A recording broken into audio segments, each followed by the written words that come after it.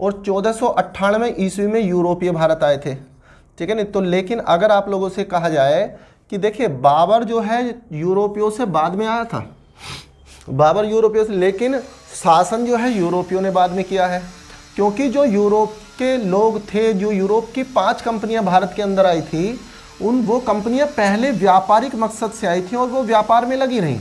इन लोगों का व्यापार सापार से कोई मतलब नहीं था। ठीक है ना? ये लोग आए बाबर बाबर के बाद आए हुमायूं तो हम इसे पढ़ते हैं मिडिवल हिस्ट्री में। हुमायूं के बाद अकबर, आए क्या ये उन्हीं के बेटे थे?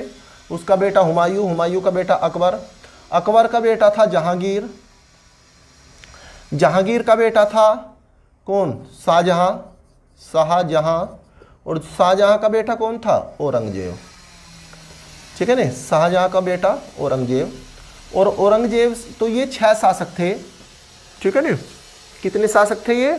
ये आप लोगों के छह शासक थे, जो ये छह शासक जो हैं आप लोगों के। ठीक है? ये 1526 से यहाँ से स्टार्ट हुए। हम इनके बारे में डिस्क्राइब करके कब पढ़ेंगे? मुगल काल जो पढ़ाया जाता है वो मध्यकाली भारत में। और औरंगज़ेब की मृत्यु हो गई तीन मार्च अहमदनगर में। तीन मार्च 1707 में अहमदनगर में हो गई औरंगज़ेब की मृत्यु। ठीक है? इनका शासन भारत में जो है पैरेलल रूप से चलता रहा। भाई, बाबर आया 1526 में। उससे पहले यूरोपीय कंपनी आ गई। कहाँ? यूरोपीय कंपनी जो है, आ गई चौदह। उस समय छोटे छोटे राजा जो है, वो यहाँ पर शासन कर रहे थे। और सल्तनत काल चल रहा था। ठीक है नहीं? सल्तनत काल था। बाब, जो मुगल काल से पहले था, सल्तनत काल। सल्तनत काल और मुगल काल दोनों को हम मेडिवल हिस्ट्री में पढ़ते हैं। ठीक है? अब उसी समय जो है ये यूरोपीय कंपनियों ने अपना व्यापार जो है बढ़ाना शुरू किया देश के अंदर। बाबर आया, इसने आते ही ये आक्रांता थे, ठीक है नहीं? इन लोगों ने आते ही यहाँ पर युद्ध किए और युद्ध करते ही इन्होंने जो है यहाँ पर कब्जा कर लिया और इन्होंने शासन करना स्टार्ट कर दिया। तो ये लोगों ने यहाँ पर शासन किया, ये लोग यहाँ पर व्यापारिक कंपनियाँ। फिर अब इन लोगों ने, ये जो छह लोग थे, इन लोगों ने तो अच्छा खासा शासन किया भारत के ऊपर। लेकिन ये ताकतवर बादशाह थे। क्या थे? ये मुगल बादशाह ताकतवर थे। ठीक है? मेहनती थे। इनके बाद के जो बादशाह आए, बारह बादशाह, वो आज हम पढ़ेंगे। तो इनके बाद के जो बारह बादशाह जिन्हें हम पढ़ने जा रहे हैं, वो बादशाह निकम्मे टाइप के बादशाह थे। उनके अंदर बहुत सारे जो है अयासी टाइप के कमियाँ थी। बहुत सारी चीज़ें जो क्लियर करनी है आप लोगों को। बहुत सारी कमियाँ थी उसमें। ठीक है? काम नहीं करते थे अयाशी करना था। ठीक है? तो उन चीज़ों का फ़ायदा उठाते हुए इधर यूरोप ने जो है कब्जा करना शुरू कर दिया, ठीक है ना? यूरोप ने भारत के ऊपर शासन जो है फिर किसने कब्जा लिया? यूरोप ने कब्जा लिया। तो धीरे धीरे इनका खात्मा कर दिया। उसके बाद जबकि यूरोप आया था, इनसे पहले ही यूरोप भारत में आ चुका था, बाबर से पहले, ठीक है ना? यूरोप जो है, कहा, यूरोप जो है, वो बाबर से पहले ही भारत में आ चुका था। लेकिन जो है, आप लोग समझिए कि ये जो है, जब ये आप लोगों का लास्ट हुआ सबसे लास्ट बहादुर शाह ज़फ़र। अट्ठारह तक बहादुर शाह, हालाँकि यहाँ तक तो इनका वर्चस्व खत्म हो चुका था, लेकिन पूरे तरीके से तो खत्म अठारह में हो गया था अठारह में बहादुर शाह ज़फ़र था। उसके बाद पूरा पूरा कब्जा तो समझिए 1500 से अट्ठारह ठीक है ना लगभग 300 साल तक इन्होंने जो है, इन्हीं को काम दे जो है, यही करते रहे। हालाँकि पहले इन्होंने पूरा किया, फिर धीरे धीरे धीरे धीरे ये कमज़ोर पड़ते चले गए। फिर धीरे धीरे जो है, ये भी शासन करते रहे, ये भी। फिर ये अट्ठारह में जाके बाबर का जो पूरा वंश था, ये समाप्त हो गया और उसके बाद पूरा पूरा कब्जा किनका हो गया? पूरा पूरा कब्जा यूरोपियों का हो गया। किसका हो गया पूरा पूरा कब्जा? पूरा पूरा कब्जा यूरोपियंस का हो गया। ठीक है? तो चलिए हम इन्हीं को पढ़ने वाले हैं। देखिए, अब हम सबसे पहले पढ़ेंगे। देखिए तो आप लोग पता है क्या पढ़ेंगे? तीन मार्च तीन मार्च 1707 में हुई औरंगज़ेब की मृत्यु। औरंगज़ेब की मृत्यु। ठीक है, अब हम पता है पढ़ क्या रहे हैं? पहले ये देखो, चैप्टर का नाम। तो हमने जो है, अब तक आप लोगों ने पढ़ा क्या? आप लोगों ने पढ़ा क्या? अब तक आप लोगों ने पढ़ा है युद्ध, वो यूरोपीय कंपनियों का आगमन, ठीक है? आप लोगों का पहला चैप्टर फिनिश हो गया, यूरोपीय कंपनियों का आगमन। फिर यूरोपीय कंपनियों के आगमन से पहले मैंने आप लोगों से कहा था कि उत्तर मुगल काल के हमें पढ़ने हैं, इसमें ही मॉडर्न हिस्ट्री में उत्तर मुगल काल के बादशाह हमें पढ़ने हैं। और उत्तर मुगल काल के बादशाह पढ़ाने से पहले मैंने आप लोगों को कुछ दल बताए थे, जिनका यहाँ पर जो है बड़ा महत्वपूर्ण रोल है। उन्हें आप लोगों को, मैंने आप लोगों को बताया था तुरानी दल के बारे में, जो मध्य एशिया से आए थे। मैंने आप लोगों को बताया था ईरानी दल के बारे में, जो ईरान से आए थे। मैंने आप लोगों को बताया था अफगानी दल के बारे में, जो अफगान से आए थे। और मैंने आप लोगों को बताया था सैयद बंधुओं के बारे में, ठीक है? सैयद बंधुओं के बारे में। तो ये जब बाबर आया था जब इन लोगों ने यहाँ पर जो है आए थे तो सैनिक इनके साथ जो आए थे तो जो सैनिक जहाँ से आया था उनके जो है वन, उस इनके जो वंशज थे वो सैनिक थे इनके वंशज। सॉरी इनके पूर्वज ठीक है ना? ये उन सैनिकों के वंशज हैं। तो ये लोग मध्य एशिया के लोग हैं तुरानी दल के जो लोग हैं ये मध्य एशिया के लोग हैं। इनमें मैंने आप लोगों को बताया था कि भाई निज़ाम उल मुल्क कौन बताया था मैंने? मैंने आप लोगों को बताया था निज़ाम उल मुल्क, ठीक है? ये और एक था आप लोगों का अमीन खां, ठीक है? और एक था आप लोगों का जकरिया खां, ठीक है? ये तीन लोग थे तुरानी दल के और निज़ामुल मुल्क और अमीन खां, इन दोनों ने ही सैयद बंधुओं का पतन किया था, इन्हें मरवाया था, ठीक है? दूसरा है ईरानी दल। ईरानी दल में एक तो था जुल्फ़िकार खां, इनकी अभी हम बात करने वाले हैं सबकी। जुल्फ़िकार खां जुल्फ़िकार खां के बाद आप लोगों का कौन था? जुल्फ़िकार खां और इसके बाद आप लोगों का एक था आ, सादत खां। सादत खां ठीक है? सादत खां और सादत खां के बाद एक था आप लोगों का अमीर खां और अमीर खां के बाद एक था आप लोगों का इश्तियाक खां। क्या नाम था? इश्तियाक खां ठीक है? उसके बाद मैंने आप लोगों को बताया था अफ़गानी दल, ठीक है? तो अफ़गानी दल में एक तो था गुलाम मोहम्मद गुलाम मोहम्मद, और एक था मोहम्मद बंगस मोहम्मद बंगस, ठीक है? और सैयद बंधु में दो थे। सैयद बंधु में आप लोगों का एक तो था कौन? अब्दुल्ला खां। दो भाई थे ये, अब्दुल्ला खां, और दूसरे थे हुसैन अली, ठीक है? तो ये आप लोगों को मैंने बताया था कि आप लोगों ने ये याद भी कर लिए होंगे। मुझे पता है, ठीक है? और ये आप लोगों को मैंने बता दिया, ठीक है? अब हम चलिए, इनका ज़िक्र बीच बीच में होता रहेगा तो उसे हम समझते रहेंगे। देखिए, तीन मार्च 1707 में होगी औरंगज़ेब की मृत्यु। जब औरंगज़ेब की मृत्यु हुई तो इसके जो है तीन पुत्र थे। एक तो था मुअज्जम, एक था आज़म, ठीक है? मुअज्जम जो था, बताते हैं अभी, एक था आज़म और एक था कामबकस। कामबकस। मुअज्जम जो था, ये आप लोगों का काबुल काबुल का सूबेदार था ये। क्या था ये? ये काबुल का सूबेदार था। ठीक है? आज़म जो था, आज़म। ये गुजरात का सूबेदार था। औरंगज़ेब के सामने की बात है ये। ये गुजरात का सूबेदार था। और कामबकस जो था, ये बीजापुर का सूबेदार था। ठीक है? और पूरे भारत का जो जो बादशाह था, वो था औरंगज़ेब, और उसी के ये तीन पुत्र थे। ठीक है? तो इसने जो है, यहाँ पर ये सूबे दे रखे थे।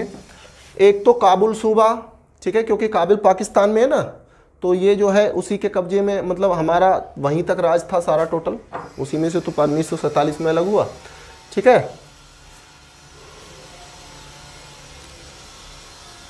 तो मुअज्जम जो है, काबुल का सूबेदार था, आज़म गुजरात का सूबेदार था और कामबकस बीजापुर का सूबेदार था। अब ये क्या हुआ?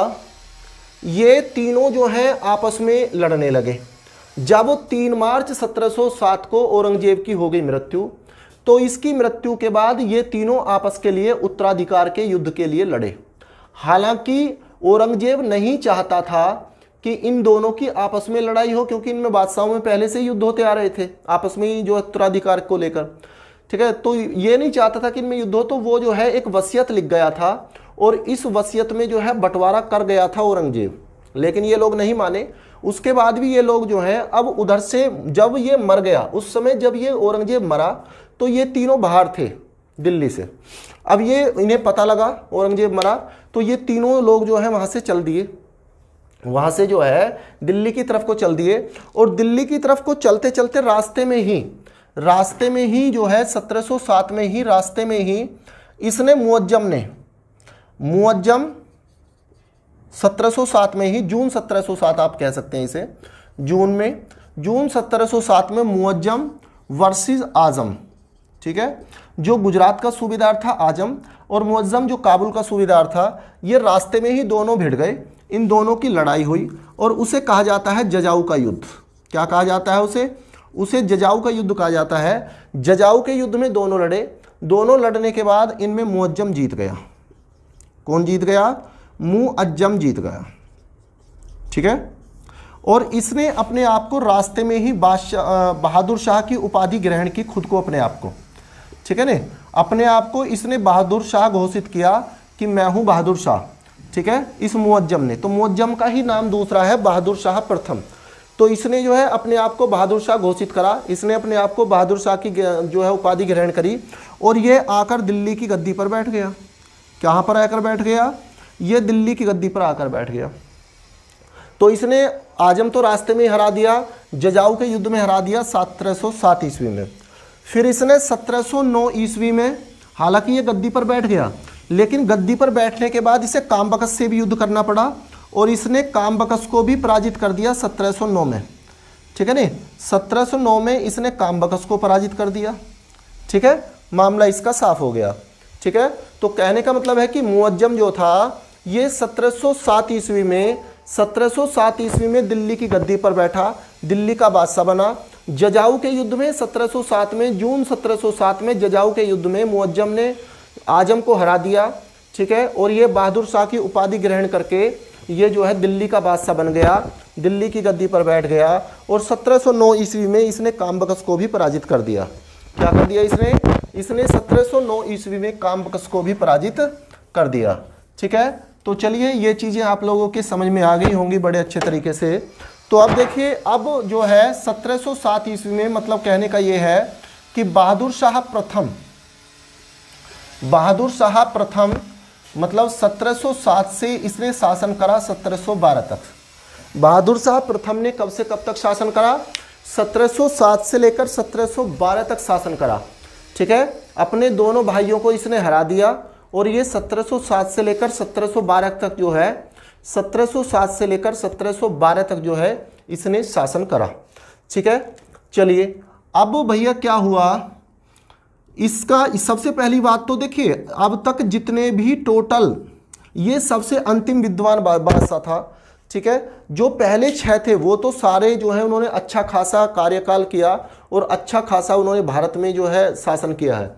लेकिन ये बहादुर शाह प्रथम योग्य तो था, विद्वान था, ठीक है? लेकिन किस्मत वाला नहीं था, आप ये कह सकते हैं, क्योंकि ये पाँच साल ही जो है शासन कर चुका, कर का केवल, ठीक है ना? केवल पाँच साल ही शासन कर चुका। और ये ज़्यादा शासन नहीं कर सका तो इसलिए किस्मत वाला नहीं था, ये पाँच साल ही शासन कर सका, लेकिन ये विद्वान भी था, योग्य भी था। ठीक है नहीं ये विद्वान था और योग्य था, लेकिन शासन लंबे समय तक नहीं कर सका। तो इसलिए कहा जा सकता है, एग्ज़ाम में पूछा जाता है कि बताइए, मुगलों का सबसे अंतिम विद्वान शासक कौन था? तो अंतिम विद्वान शासक यही था, इससे बाद के सारे शासक मूर्ख थे। ठीक है ना? इसके बाद का कोई भी शासक जो है विद्वान नहीं था, सारे शासक मूर्ख थे। तो इसी शासक को विद्वान शासक कहा जा सकता है। ठीक है? उसके बाद क्या था? उसके बाद गुरु गोविंद सिंह, जो सिखों के दसवें गुरु। ठीक है ना? सिखों के दसवें गुरु कौन थे? गुरु गोविंद सिंह।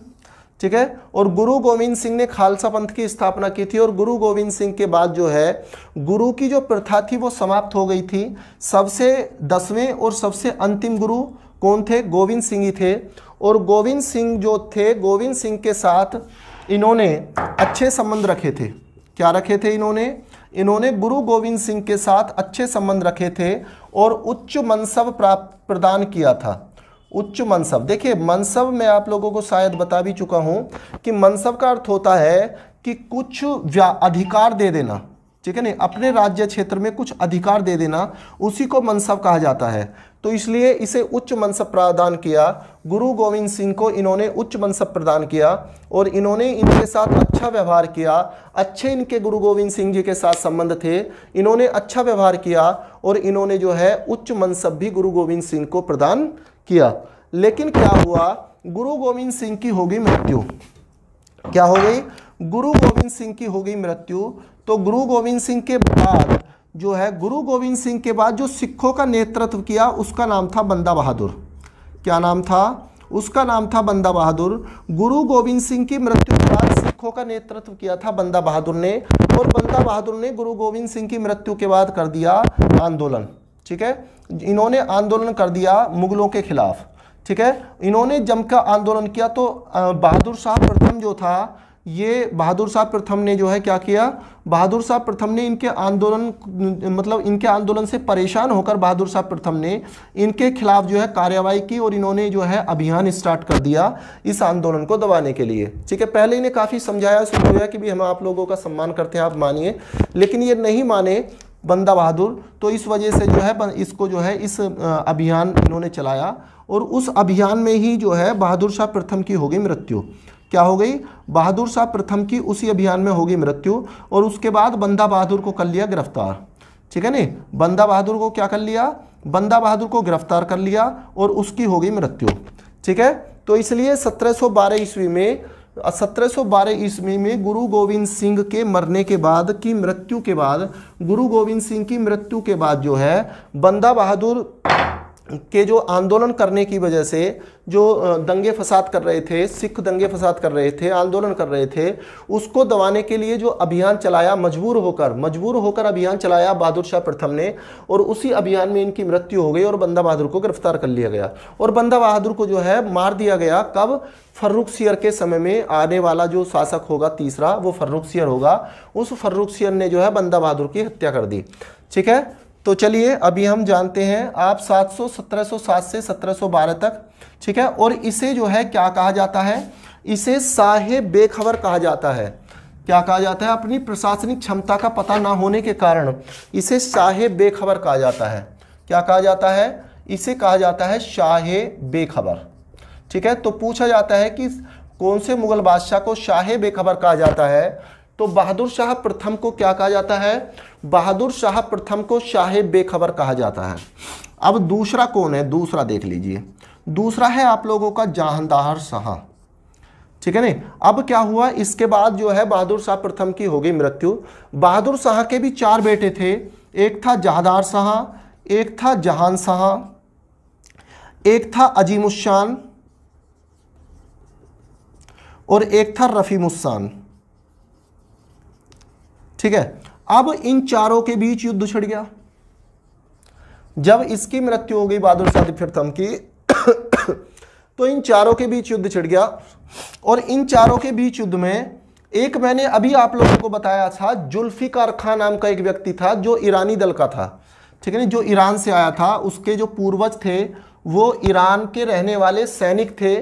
ठीक है? जो सैनिक, जो वहाँ से आए थे आक्रांताओं के साथ। तो वो सैनिक जो थे, उन्हीं, उनके उनके वंशज थे ये। कौन? जुल्फिकार खां, उनके वंशज।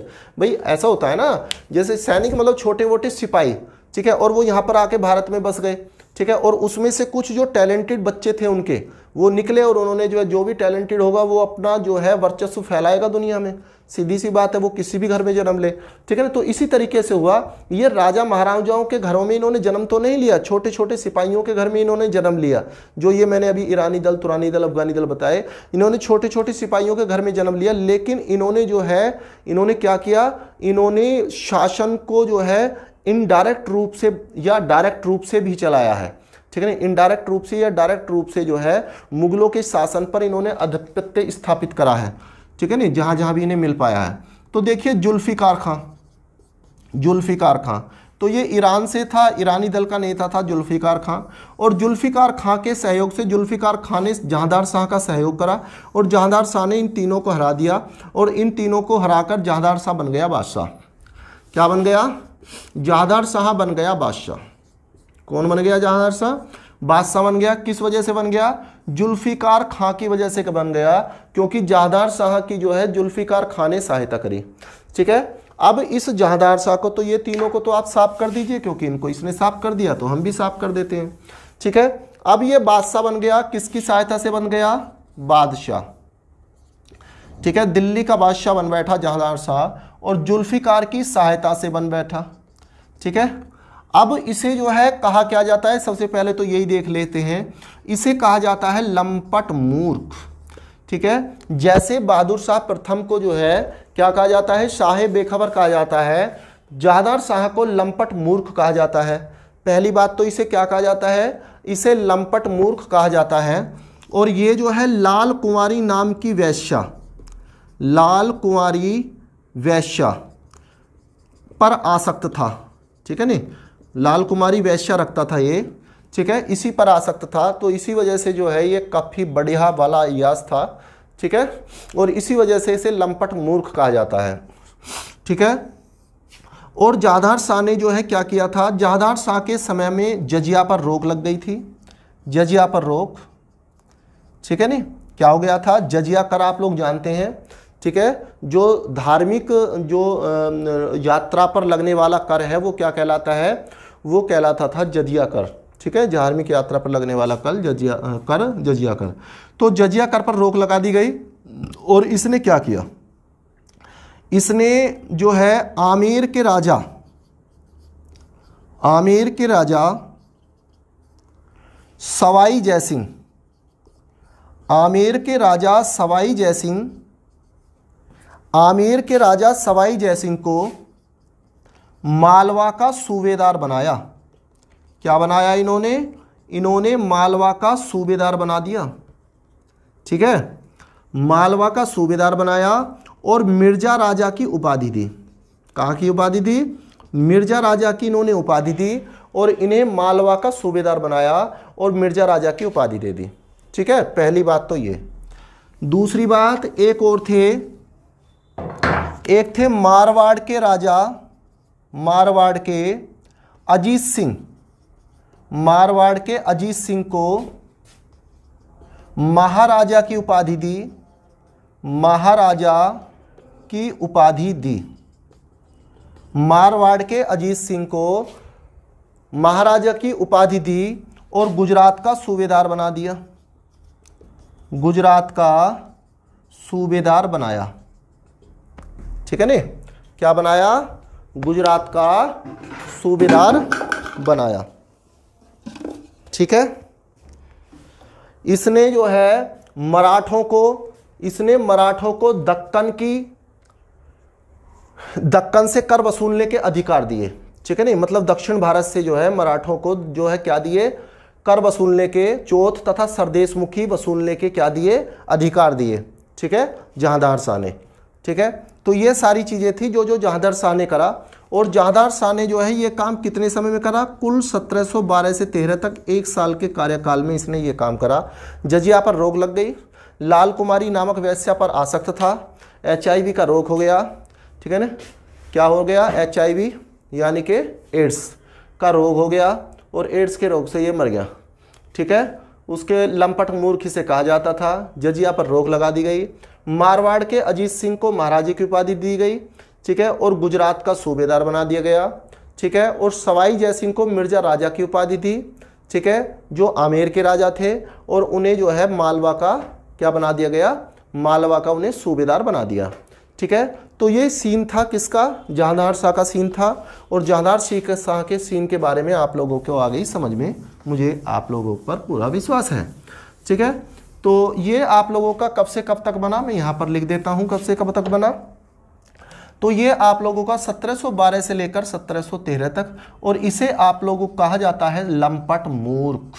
क्या कहा जाता है? लंपट मूर्ख कहा जाता है। अब जहादार शाह के बाद आप लोगों का आया कौन? फर्रुख सियर आया, फर्रुख सियर।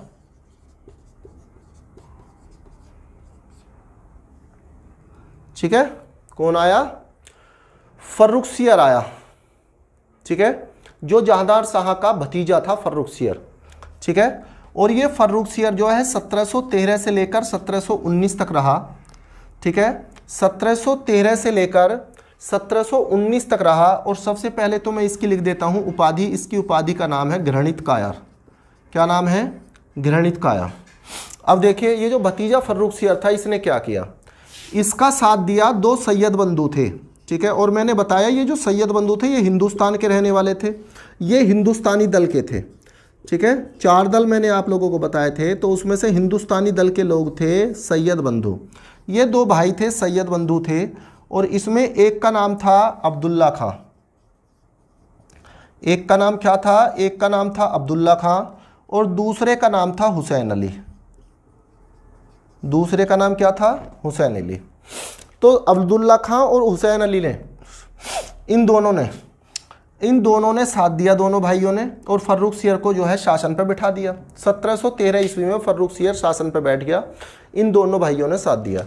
अब उसमें क्या हुआ? उसमें अब्दुल्ला खां तो बना वज़ीर वज़ीर मंत्री होता था, बहुत महत्वपूर्ण मंत्री होता था। और भैया ये बना मीर बख्शी। ये क्या बना?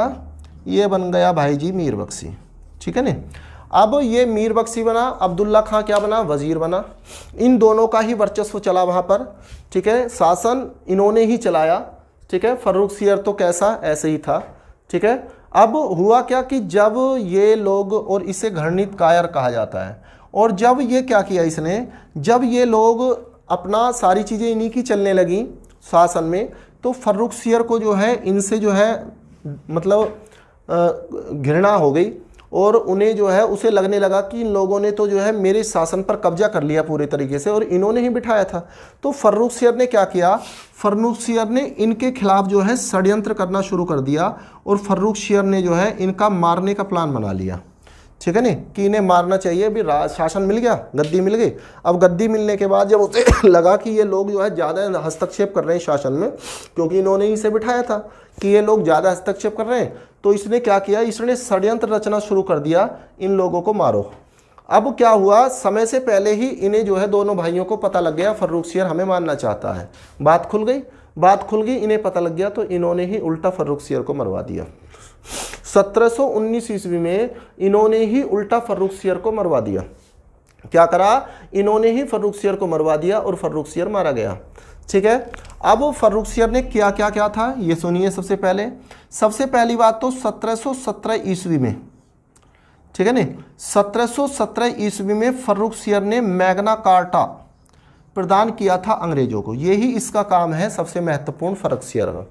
और फर्रुख सियर के समय में जो है, जजिया समाप्ति हो गया था, ठीक है नहीं जहादार शाह के समय में जजिया पर रोक लगी थी, लेकिन इसके समय में जजिया समाप्त हो गया था।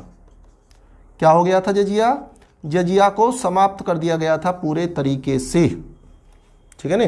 क्या कर दिया गया? जजिया को पूरे तरीके से समाप्त कर दिया गया था और 1717 ईस्वी में इसने जो है मैग्ना कार्टा प्रदान किया अंग्रेज़ों को। क्या किया?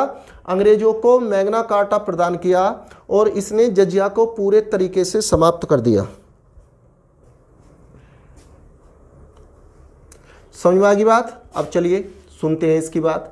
देखिए, मैग्ना कार्टा वैसे मैं आप लोगों को बता चुका, भी चुका हूँ। देखिए, मैग्ना कार्टा होता क्या है? पहले उसे सुन लो आप एक बार, मैं बता देता हूँ इसकी पृष्ठभूमि थोड़ी सी 1215 ईस्वी में किंग जॉन 1215 ईस्वी में किंग जॉन जो है, ब्रिटेन के महाराजा थे किंग जॉन। इन्होंने सामंतों के दबाव में पहली बार जो है, मूल अधिकार लिखवाए थे। ठीक है ना? पब्लिक के लिए मूल अधिकार लिखवाए थे पब्लिक के लिए। तो इन मूल अधिकारों को जो लिखवाया गया, उसको मैगना कार्टा कहा जाता था। ठीक है ना? जिसे वो, जो किताब लिखी गई ना, उस किताब का नाम था मैगना कार्टा। तो तभी से जो है, जहाँ पर भी अधिकारों की बात आती है, उसे मैग्ना कार्टा कहा जाता है। अब क्या हुआ? 1717 में जो है, अंग्रेज़ों के जो दल आता था भारत में तो अंग्रेज़ों के दल के साथ जो है, एक डॉक्टर भी आते थे उनके। तो उनकी चिकित्सा प्रणाली ठीक ठाक थी। तो उनके किसी डॉक्टर ने जो है, फर्रुख हो गया था बीमार। फर्रुख सियर की बीमारी ठीक कर दी, डॉक्टर को ठीक कर दिया। तो डॉक्टर को ठीक करने की वजह से फर्रुख सियर उनसे खुश हुआ और फर्रुख सियर ने क्या किया? फर्रुख सियर ने जो है, उन्हें जो है मैग्ना कार्टा प्रदान करने का मतलब है कि उन्हें तीन हज़ार रुपये के बदले, केवल तुम तीन हज़ार रुपये और उनसे कहा कि तुम केवल जो भारतीय जितना कर चुकाते हैं, इतना टैक्स चुका कर केवल, कहने का मतलब है टैक्स फ्री तुम व्यापार करो, खूब मज़े से व्यापार करो, जितना व्यापार तुम्हें भारत से करना है करिए। उन्हें पूरी छूट दे दी तो उसी को कहा जाता है मैग्ना कार्टा ठीक है नहीं? मतलब 1717 में फर्रुख सियर ने जो है मैग्ना कार्टा दे दी अंग्रेज़ों को। ठीक है? उन्हें पूरी छूट दे दी कि बंगाल का जितना क्षेत्र है, उस सारे क्षेत्र तुम्हें जो है बिना कर दिए। ठीक है? केवल तीन हज़ार रुपये देकर आपको बिना कर दिए पूरे तरीके से पूरी छूट है टैक्स वो देने की, व्यापार करने की। ठीक है? तो इस यहाँ से जो है उनके वो जो है पूरे तरीके से और ये जो मैग्ना कार्टा था यही मैग्ना कार्टा फिर बंगाल पर कब्जा करने का एक मज़बूत रास्ता बना किसका? अंग्रेज़ों का। अंग्रेज़ों ने आने वाले समय में बंगाल पर कब्जा कर लिया। ठीक है, वो मैं अभी आप लोगों को बताऊँगा। तो जो है, उसी को जो है, ये क्या कहा जाता है? मैग्ना कार्टा इन्हें यहाँ पर मिला। तो इन्होंने आने वाले समय में, हालाँकि उसमें जो है, उसके बाद मुर्शीद कुली खां वगैरह ने वहाँ पर शासन किया स्वतंत्र रूप से, लेकिन उसके बाद फिर वहाँ पर जो है, यही आ गए, कौन आ गए? अंग्रेज़ आ गए। ठीक है ना? क्योंकि पहले तो जब ये शासन यहाँ से कमज़ोर हो गया तो यहाँ से कमज़ोर होने के बाद जो अभी पढ़ेंगे उसके बाद तो वहाँ जो है मुर्शीद कुली खान ने जो है स्वतंत्र राज्य स्टार्ट करना शुरू कर दिया। तो इस वजह से फिर उसके बाद अंग्रेज़ों ने ही उसे भी कब्जे में कर लिया। ठीक है? तो इसी तरीके से सत्रह में मैग्ना कार्टा जजिया को पूरे तरीके से इसने समाप्त कर दिया। चलिए। अब अगला शासक हम पढ़ते हैं। अगले शासक का नाम है रफ़ी उद्दरजात रफ़ी उद्दरजात ये 1719 में ही तीन चार महीने रहा बस ये, ठीक है नहीं? ये 1719 में ही रहा, और ये तीन चार महीने रहा, और ये जो है छः तपेदिक या टीवी, कुछ भी बोल देते हैं, तपेदिक छः टीवी, ठीक है? इससे मर गया। ठीक है? सभी बादशाहों में, जितने भी बादशाह हुए किसके? मुगलों के। मुगलों के सभी बादशाहों में सबसे कम समय तक शासन करने वाला बादशाह का नाम था रफ़ी उद्दरजात ठीक है? 1719 में ही बना, उसी में ही निबट गया। और तपेदिक छः और टीबी मतलब तीनों एक ही नाम है। ठीक है? तपेदिक रोग से या छः रोग से या टीबी से जो है, ये मर गया। ठीक है नहीं? अब उसके बाद, इसके बाद बना रफ़ी उद्दौला। रफ़ी उद्दौला। अब देखिए एक चीज़ आप सुनिए। सैयद बंधुओं ने ही बनाया फर्रुख सियर को। फर्रुख सियर ने इनके खिलाफ षड्यंत्र रचना शुरू कर दिया तो इसे ही मार दिया फर्रुख सियर को। उसके बाद सैयद बंधुओं ने ही बनाया रफ़ी उद्दौला को। उसके बाद सफ़ी उद्दौला नहीं बना, रफ़ी उद्दौलजात को, फिर रफ़ी उद्दौला को। जब इन्होंने रफ़ी उद्दौला को बनाया तो 1719 में ही बनाया। ये इससे दो चार दस पाँच दिन फालतू समय तक रहा। तो ये दूसरे नंबर का ऐसा शासक था जो जो है सबसे कम समय तक रहा। सबसे कम समय तक रफ़ी उद्दरजात और फिर रफ़ी उद्दौला। ठीक है? 1719 में ही दोनों निपट गए और ये मर गया पेचिस से। ये बड़े वाला अफीमची था। क्या था? बड़े वाला अफीमची। ठीक है नहीं? मतलब बहुत ज़्यादा अफ़ीम वगैरह खाता था तो एक दिन इसने बहुत ज़्यादा अफ़ीम खा ली और अफ़ीम खाने की वजह से क्या हो गया? बहुत बड़ा नशेड़ी था, बहुत ज़्यादा अफ़ीम खाता था और उससे पेचिस हो गई इसे। पेचिस हो गया, पेचिस से मर गया। ठीक है? कौन? रफ़ी उद्दौला फिर उसके बाद मोहम्मद शाह बनाया। किसने बनाया? सैयद बंधुओं ने ही बनाया मोहम्मद शाह को। और मोहम्मद शाह को भी 1719 में ही बनाया और मोहम्मद शाह ने काफ़ी लंबे समय तक शासन किया 1719 से लेकर 1748 तक। कब तक किया? 1719 से लेकर 1748 तक काफ़ी लंबे समय तक जो है शासन किया मोहम्मद शाह ने। ठीक है? तो सैयद बंधुओं के द्वारा बनाए गए चार, सैयद बंधुओं ने चार मुगल बादशाह बनाए हैं, ये ध्यान रखना है। सैयद बंधुओं इसीलिए सैयद बंधुओं को किंग मेकर कहा जाता है। क्या कहा जाता है सैयद बंधुओं को? सैयद बंधुओं को किंग मेकर यानी कि राजा बनाने वाले। ठीक है, ये राजा बनाते थे। तो इन्होंने जो है चार राजा बनाए। मूलों के चार राजा इन्होंने बनाए। ये चार बादशाहों के कार्यकाल तक रहे हैं। ये सवाल पूछा जाता है। ठीक है कौन कौन से सब बादशाह? भर्रुखसियर रफ़ीउद्दरजात रफ़ीउद्दौला और मोहम्मद शाह। ठीक है, अब हम मोहम्मद शाह के बारे में पढ़ने चल रहे हैं। तो देखिए, सबसे पहली बात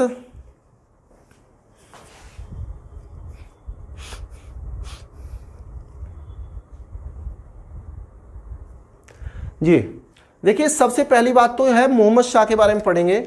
सबसे पहली बात तो मोहम्मद शाह को मैं लिख देता हूँ यहाँ पर। सबसे पहली बात तो मोहम्मद शाह को रंगीला कहा जाता है। क्या कहा जाता है मोहम्मद शाह को? मोहम्मद शाह को कहा जाता है रंगीला। क्या कहा जाता है? मोहम्मद शाह को रंगीला कहा जाता है। और मोहम्मद शाह के समय में ही क्यों कहा जाता है रंगीला? क्योंकि मोहम्मद शाह अधिकतर समय हरम में बिताता था, जहाँ पर इनकी राम महारा, रानियाँ या रखेल होती थी। तो वहाँ पर ये जो है मोहम्मद शाह जो है ज़्यादा समय हरम में ही रहता था, ठीक है नी तो इसलिए इसे रंगीला कहा जाता था। क्या कहा जाता था इसे? रंगीला, ठीक है? जो ज़्यादा आशिक मिजाज व्यक्ति होता, उसे रंगीला नहीं कहा जाता, ठीक है नी तो इसलिए इसे क्या कहा जाता था? रंगीला।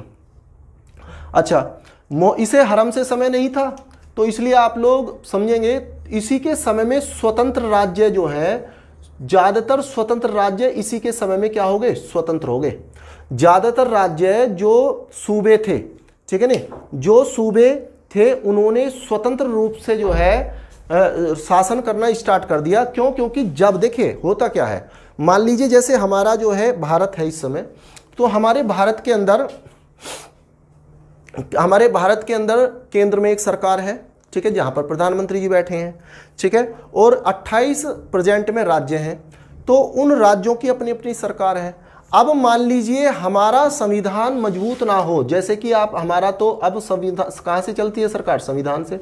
और संविधान में अखंडता शब्द जुड़ा हुआ है कि सरकार, कि हमारा जो भारत है वो अखंड है, उसको खंडित नहीं किया जा सकता। ठीक है? तो संविधान में बने हुए हैं सब। अगर मान लीजिए, अब है क्या? यदि हमारा जो है ये भारत, देखिए, एक तो केंद्रीय सरकार होती है, केंद्रीय सत्ता। तो ऐसे ही उस समय केंद्रीय सत्ता पर बैठा था मोहम्मद शाह। ये सब लोग केंद्रीय सत्ता में ही बैठे थे। उसी तरीके से जैसे अब सभी राज्यों में मुख्यमंत्री होते हैं और वो वहाँ से जो है, वहाँ शासन करते हैं, वहाँ से टैक्स लेकर जो है, टैक्स वगैरह वो भेजते थे केंद्रीय सत्ता को। ऐसे ही बिल्कुल सिस्टम आज होता है। राज्यों से टैक्स इकट्ठा होता है, वो केंद्र सरकार को भेजते हैं। ठीक है? तो वो लोकल सरकारें थी।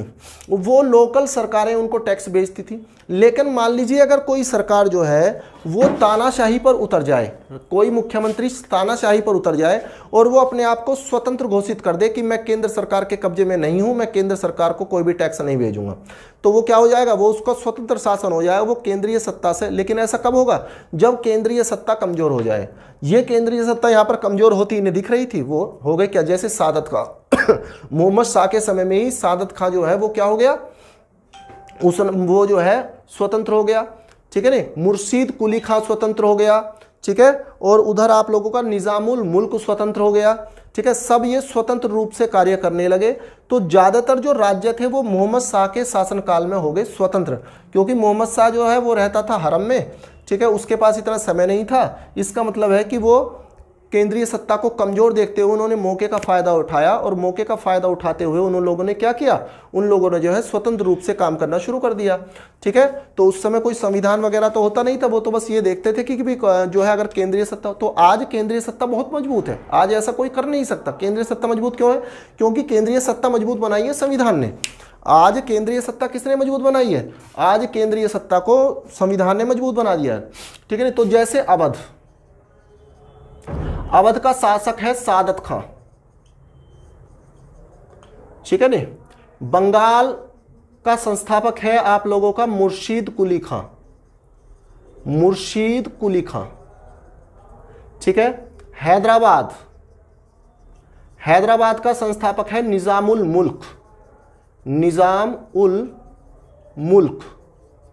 ठीक है? और आपका भरतपुर। भरतपुर के संस्थापक था आपका।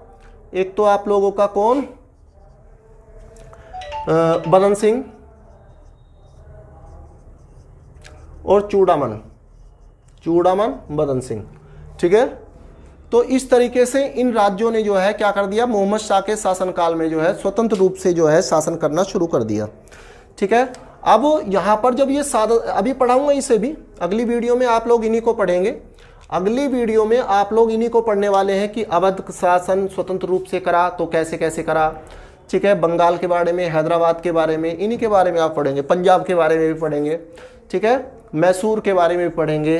ठीक है, और आप लोग जो है रुहेलखंड के बारे में भी पढ़ेंगे।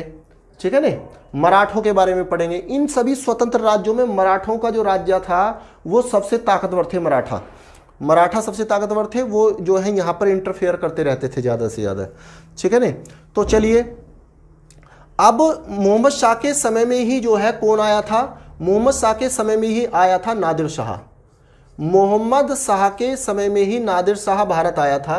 नादिर शाह ने भारत आकर आक्रमण किया था। क्या कहा करा था? आक्रमण। ठीक है नहीं?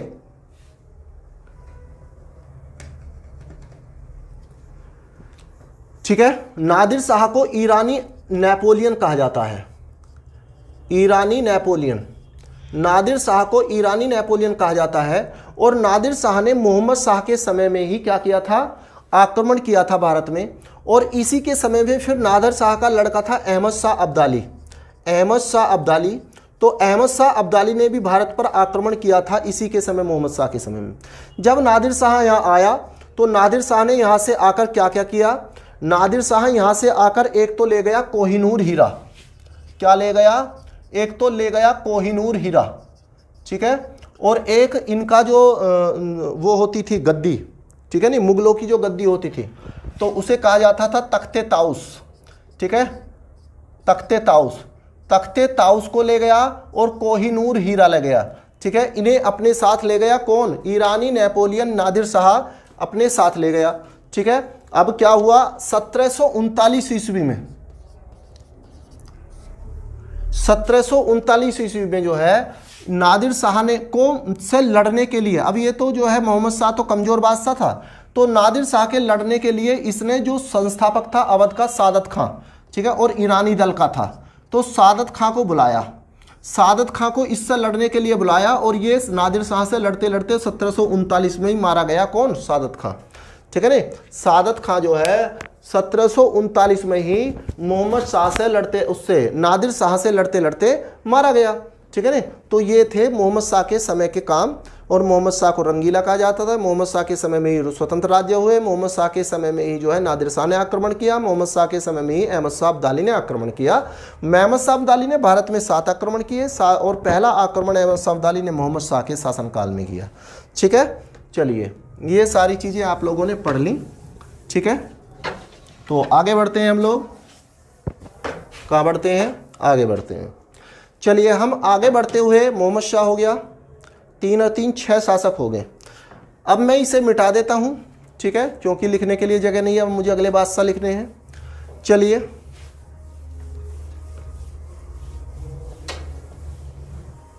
अब देखिए मोहम्मद शाह से जो है, अगला शासक था अहमद शाह बहादुर। अहमद शाह बहादुर। अहमद शाह बहादुर 1748 से सत्रह तक रहा। कब तक रहा? 1748 से सत्रह सौ चौवन तक रहा अहमद शाह बहादुर। अब यहाँ से एक चीज़ आप ध्यान रखेंगे ये है अहमद शाह बहादुर और एक था अहमद शाह अब्दाली। अब इससे क्वेश्चन क्या आता है? ये ध्यान रखें। दोनों के नाम अहमद शाह ही हैं, ये ध्यान रखना। है दोनों अलग अलग व्यक्ति? और क्या है? ये देखेंगे। अहमद शाह अब्दाली नादिर शाह का लड़का था। अहमद शाह बहादुर जो था, ये शासक था बहादुर, वो बादशाह था मुगलों का। 1748 से सत्रह सौ चौवन तक रहा। अहमद शाह अब्दाली ने पहला आक्रमण मोहम्मद शाह के शासनकाल में किया। लेकिन अहमद शाह अब्दाली ने सर्वाधिक आक्रमण अहमद शाह अब्दाली ने सर्वाधिक आक्रमण जो किए, वो किसके शासनकाल में किए? वो अहमद शाह बहादुर के शासनकाल में किए। अहमद शाह अब्दाली ने सर्वाधिक आक्रमण अहमद शाह बहादुर के शासनकाल में किए। पहली बात तो आप लोग याद रखेंगे ये। क्या याद रखेंगे? अहमद शाह अब्दाली ने सर्वाधिक आक्रमण अहमद शाह बहादुर के शासनकाल में किए। ठीक है ना? पहली बात तो यह है। दूसरी बात यह है कि इसने जो है जावेद खान नाम का एक हिजड़ा था, हिजड़ों का राजा। हिजड़ों का राजा, हिजड़ों का राजा था जावेद खान जावेद खां को नवाब बहादुर की उपाधि दी। क्या दी? जावेद खां को इसने नवाब बहादुर की उपाधि थी अहमद शाह बहादुर ने जावेद खां को नवाब बहादुर की उपाधि दी। ठीक है ना? तो इसके बारे में बस यही जानना है, बाकी इसके बारे में कुछ नहीं जानना है। इसके बाद जो है, ये मर गया। और सत्रह सौ चौवन में जो है अगला शासक आया, उसका नाम था आलमगीर द्वितीय। क्या नाम था? आलमगीर द्वितीय। अब ये आलमगीर द्वितीय कैसे कैसे आया, इसको आप लोग समझेंगे। देखिए, आलमगीर द्वितीय जो था, इसे बनाया था इमाद उल मुल्क ने। किसने बनाया था? इमाद उल मुल्क ने जो है, मराठों के सहयोग से इमादुल मुल्क ने ठीक है ना मराठों का सहयोग लिया था और मराठों का सहयोग लेकर जो है ये बन गया था वहाँ पर वज़ीर। ठीक है नी अब मराठों का सहयोग लेकर इसने अहमद शाह को उतरवा दिया और इसने आलमगीर द्वितीय इसका आदमी था तो आलमगीर द्वितीय को शासक बना दिया और ये सत्रह सौ चौवन से सत्रह सौ अट्ठावन तक शासक रहा। इमाद उल मुल्क। इमाद उल मुल्क पहले तो खुद वज़ीर बना ठीक है, और फिर इसे शासक बना दिया, क्योंकि ये खुद शासक नहीं बन सकती थी पब्लिक विरोध करती थी। ठीक है ना? तो आलमगीर द्वितीय को इमादुल मुल्क ने जो है क्या करा? इमादुल मुल्क पहले मराठों की सहायता से बना वज़ीर, ठीक है? और फिर आलमगीर द्वितीय को वहाँ का शासक बना दिया, और वज़ीर बहुत पावरफुल मंत्री होता था, ठीक है? और ये जो है, इसी आलमगीर द्वितीय इसी की कठपुतली बना रहा। क्या बना रहा? इसी की कठपुतली बना रहा। ठीक है ना? आलमगीर द्वितीय इसी की कठपुतली बना रहा इमादुल मुल्क की, और फिर इसी ने ही जो है इसकी हत्या भी कर दी। ठीक है नहीं? इमादुल मुल्क ने ही इसकी हत्या कर दी। उसके बाद अगला शासक जो बना, वो बना शाहजहाँ तृतीय। कौन बना? शाहजहाँ तृतीय। ये शाहजहाँ तृतीय कौन था? ये शाहजहाँ तृतीय था फर्रुख सियर का पोता, जो आप लोगों ने पीछे पढ़ा फर्रुख सियर। उस फर्रुख सियर का पोता था शाहजहाँ तृतीय। ठीक है नहीं? तो शाहजहाँ तृतीय ने जो है शाहजहाँ तृतीय शासक बना। और शाहजहाँ तृतीय सत्रह से लेकर सत्रह सौ उनसठ तक रहा। इसका कोई ऐसा काम नहीं जो आप लोगों को पढ़ना है। ठीक है? शाहजहाँ तृतीय के बाद फिर आया आप लोगों का शाह आलम द्वितीय। कौन आया? शाह आलम द्वितीय आया। ठीक है? कौन आया? शाह आलम द्वितीय आया। और ये जो शाह आलम द्वितीय था, ये सत्रह सौ उनसठ से लेकर कब तक रहा? 1806 तक रहा। ठीक है ना? शाह आलम द्वितीय सत्रह सौ उनसठ से लेकर 1806 तक रहा। अब शाह आलम द्वितीय ने क्या क्या काम करे, ये हम लोग समझेंगे। ठीक है ना? शाह आलम द्वितीय के बारे में आप लोगों को पढ़ना है कि इसने क्या क्या काम करे। तो देखिए, समझिए पहले शाह आलम द्वितीय के बारे में। सबसे पहले बात तो ये है कि शाह आलम द्वितीय जो था, बक्सर के युद्ध में जो था इन्वॉल्व था। और ये जब वहाँ से भागा तो इसे जो है शरण दी थी किसने? इसे शरण दी थी सुजा उद्दौला ने। किसने शरण दी थी? इसे शरण दी थी सुजा उद्दौला ने। ठीक है ना? किसने शरण दी थी? इसको सुजा उद्दौला ने शरण दी थी अपने यहाँ पर। चलिए, एक तो बात हुई है दूसरी बात। दूसरी बात, इसने जो है, देखिए सत्रह में इससे पहले ही एक बात ध्यान रखेंगे आलमगीर द्वितीय के समय में हुआ था प्लासी का युद्ध। किसका युद्ध हुआ था? प्लासी का युद्ध इसी के समय में हुआ था, आलमगीर द्वितीय के समय में। और शाहलम द्वितीय के समय में एक तो हुआ था बक्सर का युद्ध। कौन सा युद्ध हुआ था? बक्सर का युद्ध हुआ था। सत्रह ईस्वी में हुआ था बक्सर का युद्ध। बक्सर के युद्ध में शाह आलम द्वितीय ने मीर कासिम का साथ दिया था। ठीक है नहीं क्योंकि मीर कासिम सत्रह ईस्वी में, आगे पढ़ेंगे आप इसे। मीर कासिम को सत्रह ईस्वी में जो है, गद्दी पे से उतार दिया था मीर कासिम को। और सत्रह में मीर कासिम का बक्सर का युद्ध हुआ। किसके साथ? हेक्टर मुनरो के साथ। हेक्टर मुनरो अंग्रेज़ों की तरफ़ से था और हेक्टर मुनरो के साथ मीर कासिम का युद्ध हुआ। लेकिन मीर कासिम के युद्ध में, मीर कासिम के साथ युद्ध में एक तो सुजा उद्दौला ने साथ दिया। ठीक है ना? किसने साथ दिया? एक तो सुजा उद्दौला ने साथ दिया। अवध का नवाब सुजा उद्दौला। सुजा उद्दौला ने साथ दिया और दूसरा शाह आलम द्वितीय ने साथ दिया। ठीक है ना? किसने साथ दिया? शाह आलम। अब इसमें जो है ये हार गए पूरे तरीके से और आपको पता भी होना चाहिए कि बक्सर का युद्ध एक निर्णायक युद्ध था। इस युद्ध से जो है भारत के अंदर अंग्रेज़ों की सत्ता पूरी तरीके से कायम हो गई। ठीक है ना? तो इसलिए बक्सर का युद्ध निर्णायक, इसमें ये बुरी तरह से हारे और जो ये साहलम द्वितीय था, इसे क्या कर लिया गया? इसे बंदी बना लिया गया और ये अंग्रेज़ों के संरक्षण में रहा। क्या रहा? ये अंग्रेज़ों के संरक्षण में रहा और इसे जो है पेंशन भोगी बना दिया गया और इसे जो है पेंशन देकर केवल अंग्रेज़ों ने अपने संरक्षण में रखा। लेकिन क्या हुआ? बाद में मराठों ने जो है, इसे जो है मराठों ने, मराठों की सहायता लेकर ये दिल्ली पर फिर बैठ गया। ठीक है ना? मराठों ने इसे दिल्ली का शासक बना दिया, लेकिन फिर अंग्रेज़ों ने दिल्ली को जीत लिया। जब अंग्रेज़ों ने दिल्ली को जीत लिया तो फिर ये क्या हुआ? ये जो है फिर वही बन गया। ठीक है ना? और इसी के समय में पानीपत की तीसरी लड़ाई हुई। क्या हुई? पानीपत की तीसरी लड़ाई हुई इसी के समय में 1761 में। ठीक है ना? 1761 ईस्वी में इसी के समय में पानीपत की तीसरी लड़ाई हुई। क्या हुई? पानीपत की तीसरी लड़ाई हुई इसी के समय में, ठीक है? 1761 ईस्वी में। तो कहने का मतलब यह है कि सजाउद्दौला बक्सर के युद्ध में हार गया था। और ये जो है जाकर जो सॉरी सुजाउद्दौला नहीं हाथ तीनों ही हार गए सुजाउद्दौला भी, सहालम, द्वितीय भी, ठीक है ना?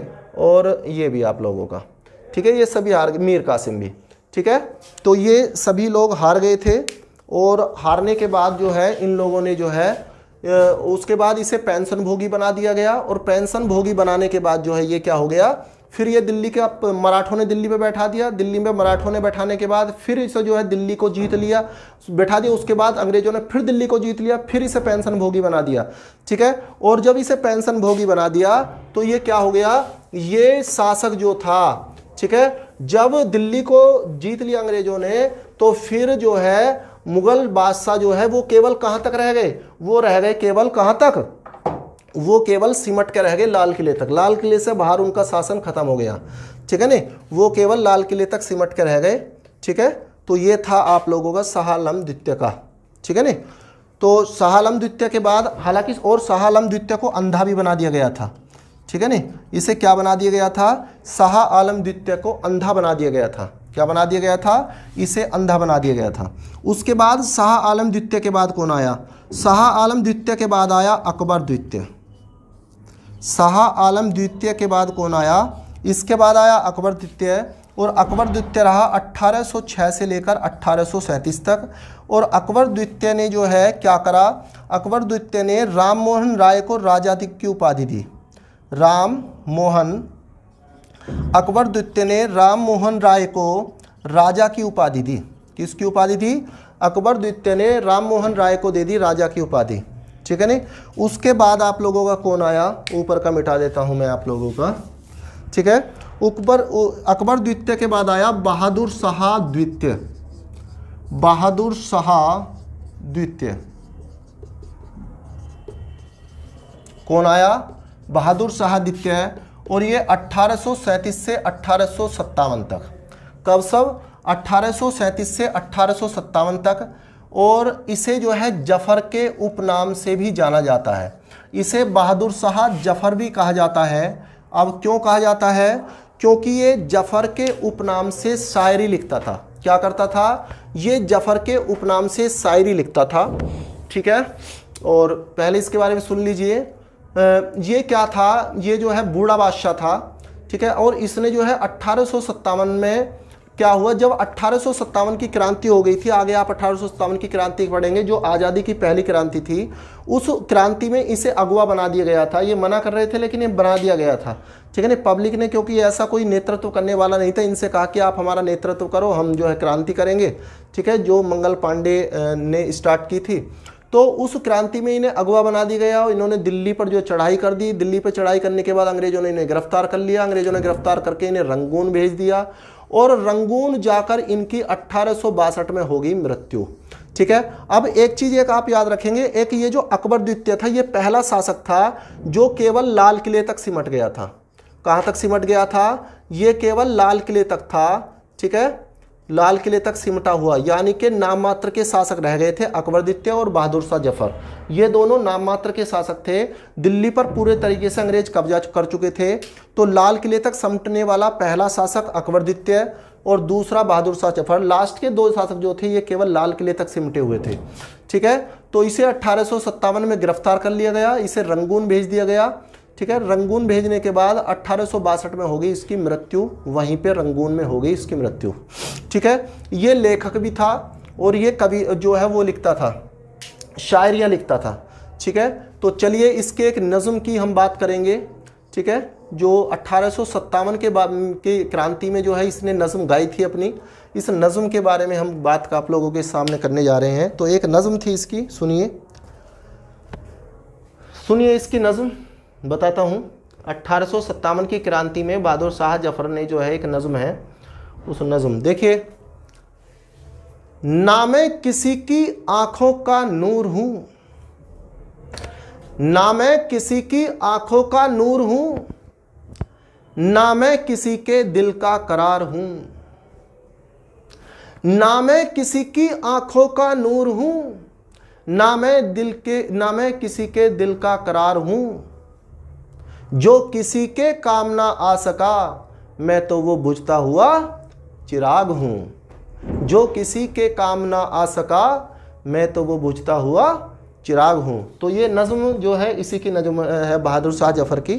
ठीक है? बहादुर शाह जफ़र ने जो है, दुखी होकर ये अट्ठारह की क्रांति में जब अट्ठारह की क्रांति, क्योंकि ये कामयाब नहीं हो पाई थी ठीक है, इसके बहुत सारे कारण थे, वो हम अट्ठारह की क्रांति में आप लोगों को पढ़ाएँगे, ठीक है?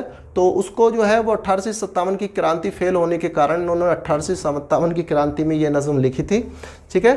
तो चलिए, इसी के साथ जो है ये आप लोगों के जो है बहादुर शाह मतलब जो, क्या, जो आप लोगों के मुगल काल के जो बादशाह थे, वो आप लोगों के समाप्त। तो बारह बादशाह मुगल काल के ये छः बादशाह पहले, बारह छः अट्ठारह टोटल अट्ठारह बादशाह मुगल काल के जो हैं बैठे।